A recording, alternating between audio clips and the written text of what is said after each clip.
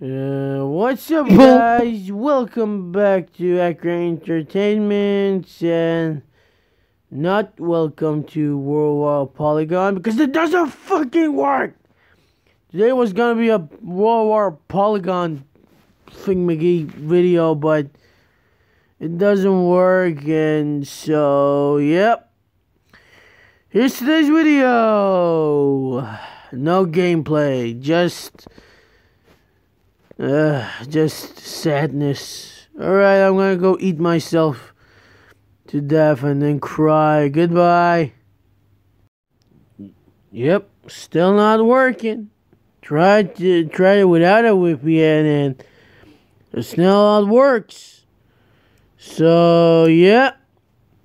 That's all the video I have for you guys. It is entertainment. It is uh, fuck it.